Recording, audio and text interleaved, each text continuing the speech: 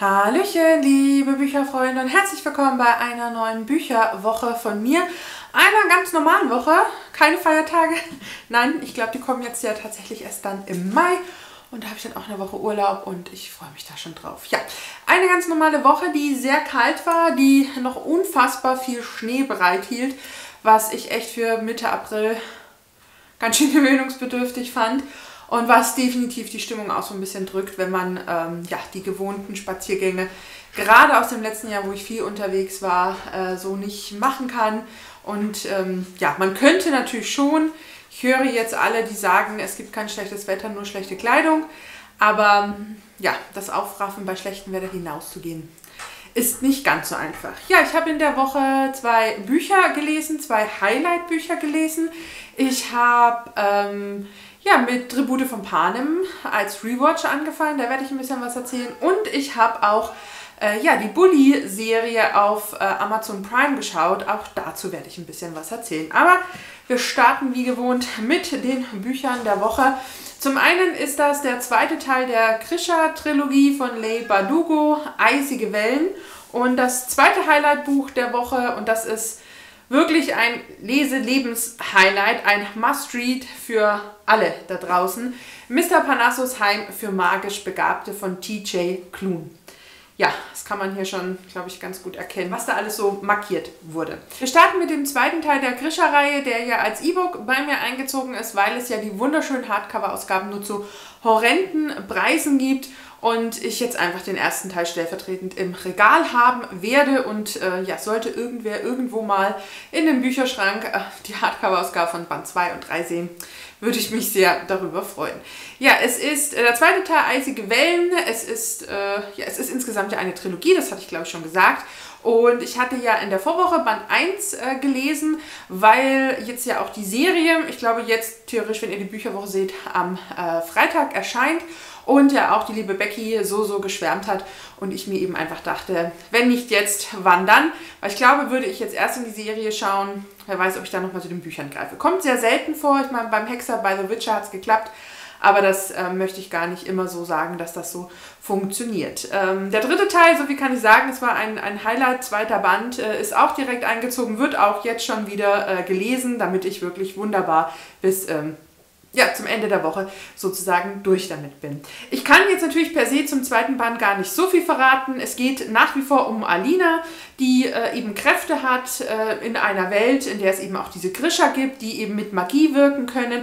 Und sie selbst hatte lange Zeit gar keine Ahnung davon, dass sie eine Grisha ist. Ähm, eines Tages brechen diese Kräfte aber aus ihr heraus, als sie gerade mit äh, ja, einer ganzen Schiffsladung ähm, ja, im Grunde Freunden äh, unterwegs ist oder eben auch einfach auf, auf, äh, ja, auf Arbeit ist. Und dort wird dann eben auch äh, der Dunkle auf sie aufmerksam. Das ist im Grunde einer mit der mächtigsten Grischer. Und der bringt sie dann auch an den Zarenhof und dort wird sie eben auch ausgebildet, sie wird informiert und sie wird auch in die Pläne vom Dunklen mit einbezogen, der ihre besondere Kraft eben nutzen möchte. Und äh, ja, Alina ist ähm, ja, anfangs doch recht euphorisch, hat aber immer so das Gefühl, dass sie doch nicht so hier hingehört an diesen Königshof, an diesen Zarenhof und ähm, ja, weiß auch nicht so richtig, was sie von den Plänen des Dunklen halten soll. Und der zweite Band ja, fängt im Grunde genau da an, wo der erste aufgehört hat. Es ist nicht sehr viel Zeit vergangen. Wir sind mitten in dieser Geschichte. Es ist nicht so, dass uns nochmal ein langer Rückblick gegeben wird. Nein, wir äh, starten direkt mit der Geschichte weiter und äh, begleiten eben Alina und ihre Freunde unter anderem auf einer wunderbaren Schiffsfahrt und es sind dann auch wieder am Zarenhofe unterwegs und das ist einfach großartig. Ein wirklich toller zweiter Band, der für mich total untypisch ist. Man hat ja oft zweite Bände in Trilogien, die so ein bisschen Lückenfüller sind, Spannung aufbauen für das große Finale. Das Gefühl hatte ich hier überhaupt nicht. Die Geschichte hat ihre kleine Geschichte sozusagen in sich selbst nicht abgeschlossen, aber es gibt eben zwei, drei Spannungsbögen, die hier im zweiten Band auch aufgelöst werden, die weitergehen, die immer wieder erzählt werden Und das finde ich macht Ley Bardugo wirklich großartig, dass man nicht das Gefühl hat, man muss den zweiten Band lesen, damit dann der dritte besser wirken kann. Nein, der zweite Band wirkt hier wirklich für sich und geht eben nahtlos weiter. Ich mag diese Welt unglaublich gerne. Ich mag dieses Worldbuilding, ich mag dieses russisch angehauchte, ich mag die Orte, ich mag diesen Zarenhof, ich mag diese Welt um die Krischer, um deren Magie, was ist möglich, wie ist es möglich und so weiter. Das finde ich richtig toll. Zudem bin ich auch den Charakteren ja, sehr sympathisch gegenübergestellt. Ich finde es toll, wie nah und tiefgründig sie uns gezeigt werden. Auch gerade durch die Ich-Perspektive von Alina kommen wir natürlich richtig toll in diese Geschichte rein. Es wirkt sehr authentisch, es wirkt sehr echt. Das ist wirklich faszinierend für, für diese Fantasy-Welt. Und ich mag auch sehr, dass die Entwicklungen der Einzelcharaktere, auch der Nebencharaktere, spürbar sind, dass sie vorhanden sind, dass sie ineinander greifen oder eben auch einfach mal abdriften. Ich mag die Konflikte, die es gibt. Das Einzige, und das ist wirklich so ein kleiner Kritikpunkt, ist, dass es hier so ich würde jetzt nicht sagen eine Dreiergeschichte, das klingt immer gleich so ganz negativ, aber es gibt so ein paar ah, Ungereimtheiten zwischen Alina und zwei, drei, vier anderen. Und das ist ein bisschen was, was ich tatsächlich so dachte, ach Mensch, ihr habt doch andere Sorgen. Kümmert euch doch erstmal darum und dann kümmert euch um eure Gefühle. Aber das ist wirklich Jammern auf hohem Niveau. Das waren wirklich nur zwei, drei Momente, wo ich aber schon denke, ich hoffe, dass das irgendwie im dritten Teil zu einer Lösung kommt oder nicht mehr so diesen Raum einnimmt. Aber für mich trotzdem ein Highlight, denn es blieb über das ganze Buch hinweg spannend, es blieb packend, wir hatten eine große Sogwirkung, also ich habe das Buch wirklich super gerne in die Hand genommen, ich habe gerne darin gelesen, ich habe nur wenige Pausen so in meiner Lesezeit gebraucht, das ist zurzeit was, was ich eben einfach ein bisschen benötige, aber ich konnte mich hier einfühlen und, und reindenken und war wirklich in dieser Welt gefangen und das im ganz positiven Sinne. Was ich hier auch super finde und das ist ja was, was ich auch in Fantasy immer toll finde, das ist so diese Brise Humor, äh, die hier reinkommt. Besonders ein, zwei Charaktere bringen diese Prise mit und die finde ich großartig. Ich mag das, wenn so trockener Humor irgendwie auflockert und da ist und man denkt, ja, das, das Leben ist halt auch in der Geschichte nicht immer nur ernst, sondern da kommt eben auch mal irgendwie ein dummer, auflockernder Spruch. Und das hat mir hier auch sehr gut gefallen. Ich fand es wirklich toll. Ich fand es einen tollen zweiten Band, der die Geschichte wirklich wunderbar weitergetragen hat, der Spannung und Lust auch auf den dritten Band macht und wirklich eine Sogwirkung hat. Und ja, ich lese jetzt, wie gesagt, den dritten Band und da geht es auch direkt weiter. Und ich freue mich jetzt sehr, wie der dritte Band endet. Und dann endet er auch schon wieder. Aber dann freue ich mich natürlich auch auf die Serie und bin da sehr, sehr gespannt, weil so diesen Vortrailer, den ich irgendwie gesehen habe, der macht da auf jeden Fall schon Lust auf mehr und ähm, hat mich auf jeden Fall sehr, sehr angesprochen. Ja, und dann das zweite Buch äh, der Woche ist dann Mr. Parnassus Heim für magisch Begabte von TJ Klun. Ich weiß gar nicht, für was dieses TJ steht. Nee, taucht hier gar nicht auf, was es ist. Nein. ähm, ein Buch, das jetzt auch ganz frisch im April erschienen ist. Äh, ich dann auch an äh, dem Wochenende vorher in der Buchhandlung war, als diese noch offen hatten, um Bestellungen abzuholen. Und das war dann auch so gefühlt das erste Mal in diesem Jahr, dass ich in der Buchhandlung war und gleichzeitig das letzte Mal seitdem. Aber ich glaube, darüber brauchen wir uns nicht mehr unterhalten. Das wird noch eine ganze Weile wahrscheinlich so dauern. Ja, der Autor hat äh, bereits einige Bücher vorher geschrieben, war mir jetzt aber als Autor tatsächlich kein Begriff, obwohl die auch ins Deutsche übersetzt wurden. Aber umso schöner, dass wir über dieses Buch gestolpert sind. Ich habe das Buch schon relativ früh entdeckt. Ich fand es vom Cover großartig mit diesem Haus auf dieser ja, Küste, auf dieser auf dies, an diesem Abgrund, kann man das so sagen, auf dieser Insel und hat mich sehr angesprochen. Dieses magisch Begabte und auch was hinten auf dem Klappentext stand, der aber für meinen Begriff gar nicht die Geschichte wirklich umfassen kann. Wir haben hier den vorbildlichen Beamten Linus Baker, der in der Regel in seinem Job dafür da ist, Waisenhäuser zu begutachten. Und diesen Waisenhäuser sind magisch begabte Kinder, die alle irgendwie eben eine gewisse Magie wirken, kann man so im weitesten sagen, wobei man jetzt nicht hier an Zauberer oder Hexen darf, äh, denken darf, sondern tatsächlich eher an Dinge, die ihnen gegeben sind. Also eher, ja, sind es vielleicht wirklich Begabungen. Das, glaube ich, trifft es tatsächlich ganz gut. Wir haben hier Kinder und Jugendliche und er ähm, prüft eben diese Stätten, ob die für das Wohl der Kinder da ist, ob da alles sauber ist, Essen gibt und so weiter. Und gibt dann eben auch seine Empfehlung ab, ob er das empfiehlt, ob das Heim offen bleibt oder nicht. Er lebt sehr streng nach dem Regelwerk und auch wenn er nicht alle Regeln gut findet oder so ein bisschen ein Umdenken schon relativ vorhanden ist, er arbeitet er dennoch strikt nach der Vorgabe, er unterstellt sich seinen Vorgesetzten, er geht missmutig nach Hause, diskutiert mit der Nachbarin, hat eine Katze, die irgendwie auch keinen so glücklichen Eindruck macht. Und ja, so alles in allem lebt er so sein Leben und ist irgendwie zufrieden, aber ja, ich glaube, ein ausgeführtes Leben sieht wahrscheinlich auch aus seiner Sicht anders aus. Eines Tages bekommt er durch das höhere Management aber den Auftrag, das Heim von Mr. Panassus für einen Monat zu begutachten. Er reist dort also hin, eben genau an dieses Haus, das irgendwo auf einer Insel ist und merkt schon in der Dorfgemeinschaft, dass da irgendwas anders ist. Denn dort sind Kinder und Jugendliche untergebracht, nicht umgebracht, untergebracht, die nochmal sehr speziell sind unter anderem haben wir hier den äh, Sohn des Teufels. Und ähm, ja, da muss sich natürlich unser Linus auch erstmal zurechtfinden. Er soll aber nicht nur das Waisenhaus ähm, überprüfen und die Kinder, auch welche Gefahren sie darstellen, sondern eben auch Arthur Parnassus selbst.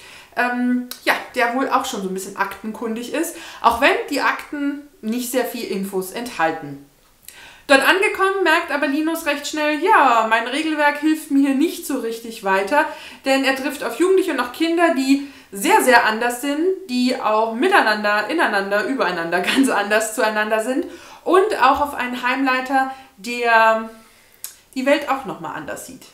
Und es war ein großartiges Buch. Also es fehlen mir tatsächlich so ein bisschen die Worte als mehr als es großartig zu nennen. Für mich ist es sehr ungewöhnlich gewesen und umso ungewöhnlicher und merkwürdiger es wurde, umso besser hat es mir gefallen. Es hat mich wirklich von den ersten Seiten bis zum Ende vom Hocker gerissen. Für mich ein absolutes Must-Read für jeden. Ich bin der Meinung, das müsste direkt schon in Schulen gelesen werden, weil die Thematik, auch wenn man das Buch irgendwie in die Fantasy äh, unterbringt, weil man natürlich diese magisch begabten Kinder hat, es geht in dem Buch eben einfach darum, dass jeder das Recht hat, so zu sein, wie er ist, egal wie er aussieht, egal welche Neigung er hat. Es geht um Toleranz, es geht eben auch darum, dass man die Leute so lässt, wie sie sind, dass man, weil man das ja für sich selbst sich auch wünscht, dass jeder eben auch so sein darf, wie er möchte und dass das, das, ist so, das ist so das Gefühl, was man hier mitträgt. Äh, die Kinder mit ihren Begabungen bekommen so Stempel aufgesetzt, landen im Schubläden, sind aber viel mehr. Und vor allem, und das ist immer ganz wichtig, sind sie Kinder.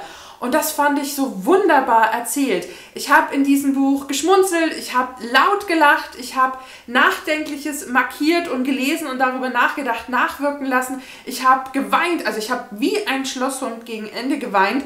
Und es war einfach großartig. Es war so emotional, es war so wunderbar erzählt. Wir haben so viele unterschiedliche Charaktere, die liebevoll gestaltet sind, die alle unterschiedlich sind, die speziell sind, die merkwürdig sind, die surreal sind, aber die so wunderbar lieb uns präsentiert werden vom Autor und das hat unfassbar viel Spaß gemacht. Und die Magie ist, wie gesagt, nicht im klassischen Sinne, da hat jemand einen Zauberstab, sondern es sind eher so Gaben, die wir hier haben oder eben auch einfach Gegebenheiten, wie dieses Lebewesen sozusagen ist und das hat einfach es hat mir einfach Spaß gemacht.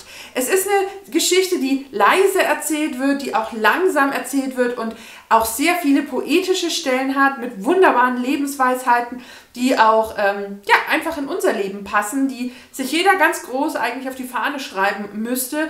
Und ähm, so tauchen wir eben in diese Geschichte ein und binden uns ganz langsam, aber ganz tief mit den Charakteren und auch der Geschichte. Ähm, ich, ich fand das wirklich großartig und man hat hier auch die, die Entwicklung von Linus wirklich gespürt, der irgendwann eben dann doch merkt, oh, mit meinen Regeln und all dem, was ich bisher dachte, komme ich hier nicht weit und diese Entwicklung fand ich auch einfach richtig, richtig toll gezeichnet. Es ist eben, wie bei uns im Leben auch nicht alles so, wie es auf den ersten Blick scheint und das gibt uns dieses Buch mit. Das Schöne ist, und das möchte ich wirklich hervorheben, ist, dass der Autor uns eben keinen erhobenen Zeigefinger zeigt, sondern die Augen öffnet. Und das hat er wirklich ganz wunderbar gemacht. Und ich finde, dieses Buch müsste eigentlich jedes Kind, jedes Ju jeder Jugendliche in die Hand bekommen, vorgelesen bekommen, weil ich glaube, dass man das durch diese Geschichten einfach am besten versteht, dass unsere Welt bunt ist, dass jeder so ist, wie er ist, jeder so sein kann, möchte, wie er wie er das für richtig hält, solange er keinen anderen schadet und dass das eben einfach gewisse Toleranz bedarf. Und ich, ich bin verliebt. Ich bin verliebt in dieses Buch. Ich habe die Seiten genossen. Ich habe die Geschichte in mich aufgesogen. Ich habe viel nachgedacht. Ich habe, wie gesagt, wirklich viel gelacht, aber auch geweint. Und ich, ich fand es großartig. Also Wahnsinn, was dieser Autor schafft. Ich meine, klar, wir haben hier knapp 500, ja, 470 Seiten, aber es war keine Seite zu viel und es hat unglaublichen Spaß gemacht. Also es hat mich wirklich tief berührt, tief begeistert und es ist nicht das letzte Mal, dass ich dieses Buch lese. Es bekommt einen großen, großen Ehrenplatz hier im Highlight-Bücherregal und ich fand es wirklich Hammer. Und man sieht es auch an den verschiedensten Markierungen, äh, was ich mir markiert habe. Ähm, ja, zum Beispiel hier so schön, diese Welt ist ein merkwürdiger und wundervoller Ort. Warum müssen wir da alle für alles eine Erklärung finden? Nur zu unserer persönlichen Befriedigung? weil Wissen Macht bedeutet. Und es sind lauter so schön gepickte Sätze, Weisheiten und ähm, hier auch finde ich ganz schön, auch ganz passend zu mir. Ähm, hier sagt ähm, Thalia, das ist ähm, ja eins der begabten Kinder, ich bin gerne rundlich. Das bedeutet nämlich, dass mehr von mir da ist, dass man lieb haben kann. Und ich finde, da ist doch was Wahres dran, ohne, also ohne Wertung jetzt sozusagen, aber das fand ich richtig, richtig schön. Oder auch hier, Hass ist Zeitverschwendung, ich bin viel zu beschäftigt, um zu hassen und das ist mir auch lieber so. Also es ist, ach, es ist einfach wundervoll. Also ach, ja, ein ganz, ganz besonderes Buch, ein 5-Sterne-Plus-Buch, alle Punkte und richtig, richtig Hammer und äh, wirklich große, große, große Empfehlung. Und ähm, ich habe gesehen, dass im äh, September diesen Jahres ein neues Buch von ihm von der Aufmachung sehr ähnlich erscheint äh, im englischsprachigen Raum, also was zumindest so von, dem, von der Optik so aussieht, aber es wirkt nicht wie eine Fortsetzung. Ähm, das hat dieses Buch auch gar nicht nötig, aber vielleicht ähm, bleibt er in diesem Stile zumindest unterwegs. Da wäre ich auf jeden Fall sehr gespannt und erfreut und ja, ich bin hin und weg und wirklich begeistert. Und dann gab es in dieser Woche auch die erste Staffel ja, von LOL, Last One Laughing, also der letzte, der sozusagen lacht. Äh, das läuft auf Amazon Prime, was auch der Grund war, weswegen ich mir hier den Probemonat sozusagen geholt habe. Es ist produziert von Michael Bulli-Herbig und er hat sechs Folgen, also knapp 25 Minuten. Das Original ist wohl chinesisch, wenn ich mich jetzt nicht ganz täusche und man kann auf Prime auch die australische Version sehen, wenn ich das richtig gesehen habe. Aber ich glaube, es ist schwierig, äh, weil natürlich der Humor der Australier wahrscheinlich nochmal ein anderer ist wie unserer. Aber ähm, ja, es geht hier dabei, dass wir, ich glaube, zehn Kandidaten hatten, Comedians, die man gefühlt aus dem deutschen Raum auch kennt. Mir waren ein, zwei nicht ganz so bekannt, aber spätestens jetzt weiß ich, wer das sind. Wir hatten hier Ange Engeke, wir hatten Barbara Schöneberger, wir hatten Caroline Kebekus, wir hatten äh, Thorsten Schräter, Wiegald Boning, Mirko Nonchev, Rick Kawanian, wir hatten nicht den Kessler, den anderen Max, ah, Name weg. Wir hatten Teddy und wir hatten noch irgendwem, den ich jetzt total verdrängt habe. Ist aber nicht so schlimm. Waren das, es könnten schon so gefühlt alle gewesen sein. Ich komme, irgendeiner fehlt mir, glaube ich, jetzt so vom, vom Fingerzeig. Kurt Krömer, genau. Und äh, ja, die treffen sich für sechs Stunden und es darf nicht gelacht werden. Man hat zwei Leben, das heißt, man darf einmal lachen, beim zweiten Mal fliegt man heraus und der Sieger, der eben bis zum Schluss standhaft ist, der bekommt 50.000 Euro für einen guten Zweck. Und äh, natürlich bringen die Comedians äh, alle Kampfgeist mit. Äh, zum einen finden sie sich selbst wahrscheinlich in der Regel recht lustig, zum anderen bringen sie natürlich auch die anderen sehr gerne zum Lachen. Und ähm, auch wenn man selbst nicht alle Gags lustig findet, Alleine dieser Kampf, den jeder auszutragen hat, wenn man in deren Gesichter schaut, das ist zum wirklich dahinlegen. Also ich habe lange, lange nicht mehr so gelacht, so mitgefiebert, mitgekämpft und wirklich gefühlt, wie schlimm es sein muss, dass man eben bei manchen Dingen nicht lachen darf. Ich finde nicht alle Comedians gleich lustig. Ich glaube, das wäre auch ziemlich schwierig, in dieser Bandbreite über alles zu lachen. Bei manchen dachte ich schon, hm, verstehe ich irgendwie nicht. Aber ich glaube, am Ende ist die Grenze des Nichtlachens einfach so niedrig oder so hoch, je nachdem.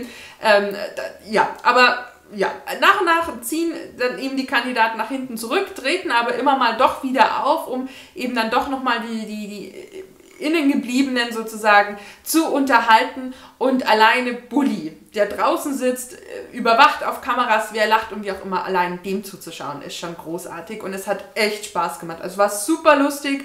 Ähm, auch diese Größen der Comedians, ähm, ja, im Grunde hier so eingesperrt zu sehen und mit, mit vollster Freude, wie da Masken aufgesetzt werden, wie da versucht wird, Bauch zu reden, wie da improvisiert wird und am Ende so mancher auch über sich selbst lachen muss. Es war ja, wirklich toll, hat super viel Spaß gemacht und ich habe schon irgendwie gehört, es soll wohl eine zweite Staffel geben, natürlich mit anderen Comedians. Ähm, ich bin mir da immer nicht so ganz sicher, Mm, wie sowas in der zweiten Staffel funktioniert, weil man natürlich im Groben schon weiß, wie es funktioniert. Ich mag so erste Male ganz gerne, wenn man auch an Big Brother zum Beispiel zurückdenkt, da wusste keiner, wie wird das draußen aufgenommen, schaut sich das jemand an und so weiter. Alles, was danach folgte, war dann halt immer, die Leute wussten, worauf sie sich einlassen. Und äh, so ähnlich ist das halt hier auch. Klar sind die Comedians anders, hat jeder einen anderen Schmerzpunkt bei seinem Humor oder bis er dann lacht, aber mal sehen, wie das funktioniert. Ich möchte nicht sagen, dass es nicht gut wird. Ich glaube, wenn Bully das in die Hand nimmt äh, und wirklich hier so die Comedians auch so ein bisschen danach auswählt, ähm, gibt es noch genügend in, in Deutschland, die uns zum Lachen bringen könnten und äh, würde mich da auf jeden Fall über einen äh, Reread, nein, über eine zweite Staffel äh, sehr, sehr freuen. Ich bin noch gedanklich bei den Büchern. Denn jetzt kommen wir zu einem Rewatch und zwar haben wir angefangen, äh, die Tribute von Panem mal wieder zu rewatchen. Es ist schon relativ lange her, ähm, dass äh, wir das gemacht haben und es wurde einfach mal wieder Zeit und wir haben jetzt äh, Film 1 und 2 angeschaut, während ja der dritte Abschlussband dann in zwei Teile geteilt wurde. Die haben wir uns jetzt dann für diese Woche vorgenommen und ich muss echt sagen, ähm, ich hatte so meine Befürchtungen, weil Jugenddystopie und auch danach viele gefolgt sind, ob mich Panem noch packt. Aber es hat keine fünf Minuten gedauert und ich war wieder in dieser Welt. Äh, das ist ja so der Ursprung der Jugenddystopie, wenn man so möchte. Äh, wo wir ja diese zwölf Distrikte haben und es eben ja auch mal einen Krieg gab vor 75 Jahren und man irgendwann im Kapitol in der Hauptstadt, äh, wo es voll Reichtum strotzt, gesagt hat, die anderen Distrikte müssen uns einen Jungen und ein Mädchen schicken, 12, zwischen 12 und 18, glaube ich, war es. Und die müssen in einer Arena gegeneinander kämpfen, bis es nur noch einen Sieger gibt. Und äh, natürlich, äh, umso weiter man nach hinten in den Distrikten kommt, umso ärmer werden diese. Und äh, wir treffen eben hier auf Katniss Everdeen, wo es somit die stärkste weibliche Protagonistin, die es in meiner Bücherwelt sozusagen gibt, die wirklich äh, tough ist und wenn sie auch nicht immer mh, mm, logisch vorgeht oder äh, gut über Dinge nachdenkt, ich fand tatsächlich das immer ihre Stärke, dass ihr Gefühl, ihr Bauchgefühl, ihre Intuition alles äh, oder sehr viel richtig gemacht hat. Und äh, wirklich eine Wahnsinnsdystopie, Dystopie. Buchtechnisch habe ich die, glaube ich, zum letzten Mal gelesen, als der vierte Kinoteil herausgekommen ist, was jetzt doch schon einige Zeit her ist. Dazwischen haben wir aber schon mal alle vier Teile geschaut. Und dazwischen hatten wir aber schon mal alle vier Teile geschaut und jetzt wird es eben auch einfach mal wieder Zeit. Und es hat mich wirklich nach fünf Minuten. Also egal, ob es die Musik ist, das Bild ist, die Charaktere ist, ob es diese Freiwilligkeit von Katniss ist, die mich immer wieder überwältigt, ob es die Abschiede sind, die wir bereits im ersten Teil über uns ergehen lassen müssen. Also es ist schon boah, Wahnsinn, wie einen das packt und fesselt. Und ähm, ja, es hat nichts an seiner Wirkung verloren und ich äh, freue mich jetzt eben auch auf äh, Teil 3 und 4. Und äh, ja, mal sehen, was dann als nächstes gerewatcht wird oder was so ein bisschen was Neues mal irgendwo auftaucht. Äh, tatsächlich habe ich ja so ein bisschen auch bei Prime jetzt geschaut, muss aber echt sagen, dass das wenigste, was inbegriffen ist, mich so richtig anspringt und, und, und, und äh, ja, ich spannend finde, ähm, weiß ich nicht. Das ist irgendwie, ja, und dann überall nochmal was dazu zu bezahlen, muss ich halt auch sagen, dafür, dass Prime ja sonst, glaube ich, auch 8 oder 9 Euro kostet. Ach, ich weiß nicht. So richtig warm werde ich mit Prime nicht. Ähm, da finde ich definitiv auf Netflix irgendwie doch ein bisschen mehr und andere Sachen. Aber das ist wahrscheinlich auch einfach eine persönliche Prävention. Ähm, ja, und das war sie jetzt auch schon, die Bücherwoche, kurz und knackig mit zwei Büchern und äh, zwei Filmen, Serien. Alles äh, im Grunde Highlights und hat Spaß gemacht und ähm, ja, so kann es in den nächsten Wochen dann ruhig weitergehen, dass es eben einfach Bücher gibt, die mich packen und in ihre Welt ziehen und ich da äh, ja einfach auch dranbleiben kann und möchte. Und ja, das war es in dieser Woche von mir. Ich bin gespannt, ob ihr vielleicht äh, LOL schon kennt, ob ihr euch äh, Panem schon mal angeschaut habt oder ob ihr denkt, dass das jetzt bei einem Rewatch vielleicht nicht mehr euch so begeistern kann wie beim ersten Mal. Lasst uns da gerne ein bisschen in den Kommentaren austauschen, würde ich mich sehr, sehr freuen. Alle Infos zu den Büchern unten in der Infobox, schaut da gerne mal vorbei. Und ich danke euch jetzt fürs Zusehen, wünsche euch noch einen schönen Tag, einen schönen Abend, ein schönes Wochenende und bis zum nächsten Video. Macht's gut. Tschüss, eure Steffi.